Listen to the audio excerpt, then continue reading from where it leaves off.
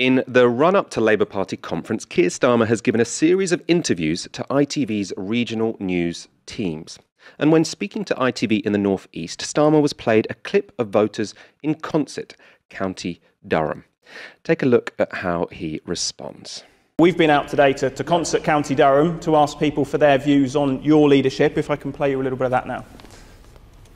Tell me what you think Keir Starmer stands for. Um, don't know. All I know is a Labour leader and that's it. I don't think he's as strong as what he should be. I mean, this guy, um, Boris Johnson, he should be giving him a good hand, really. I thought Labour was about, you know, the people, the working class people and that, um, but I'm not too sure that's what he stands for. What do you make of that? Well, it reinforces my point that in the last 18 months I've not been able to get out and make the argument in the way I wanted to. What I would ask you to do, next time you're in Darlington, I think on your patch... Consett, that, that is. Yeah, I know, Darlington, but get, uh, just to give you a, a counter example, get in Darlington, when you're next there with a camera, go and talk to the taxi rank drivers, because every time I've been through Darlington, I've been having a conversation. I, I stopped and talked to them about they were having a really tough time in COVID. I stopped, took the time talked to them. I actually went back to talk to them two or three weeks later. And they said Boris Johnson got off the train at Darlington and walked right past them without acknowledging them. And they said, I stopped, talked to them, heard what they were saying, then came back. Uh, so actually, take your camera, you know, take, uh, that, I, I, I, I take this on the chin, take your camera to Darlington to the taxi driver. That was Keir Starmer saying, they might not like me in Consett, but if you go to a different nearby town and find two specific taxi drivers who I've spoken to at length, then they will tell you something different. Um, also, the only reason we're expecting them to say something different is because they were impressed that Keir Starmer talked to them twice, apparently, according to this anecdote.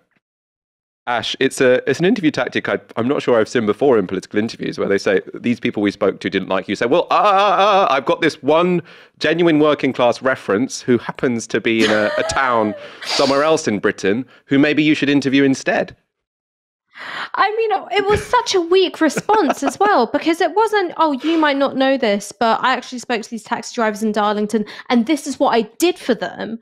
His whole boast is I acknowledged the existence of these taxi drivers in Darlington not once, but on two separate occasions.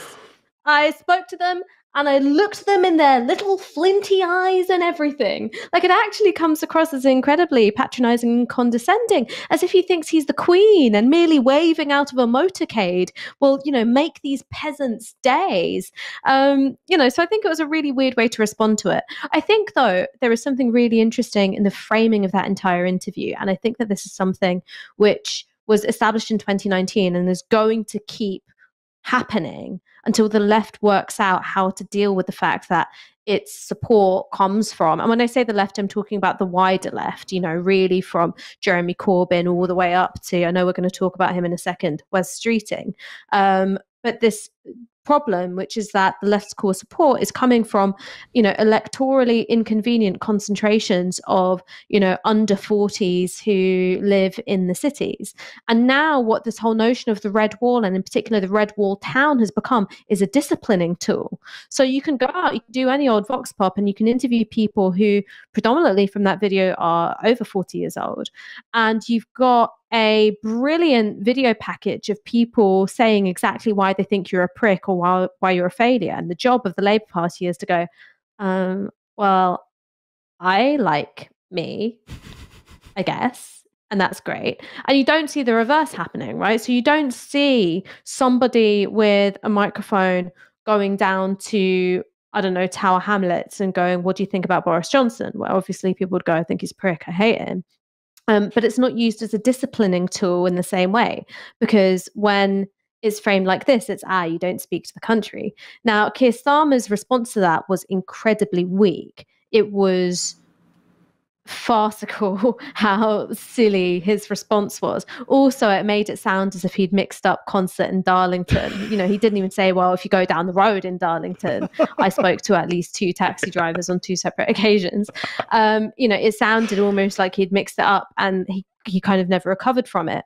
But this is a line of questioning and a, a method of delegitimizing progressive politics in this country that ultimately we're all going to have to get a grip on. You can't keep allowing 2019 to be the stick which hits you around the head and you know you've got a video package of people telling you you're shit and you've got to go oh yeah no i am actually really shit um, you've, you've got to come up with a more compelling response because Mm, otherwise no one's going to vote for you. If you go oh yeah actually they're right i am a cunt like why is anybody going to vote for you?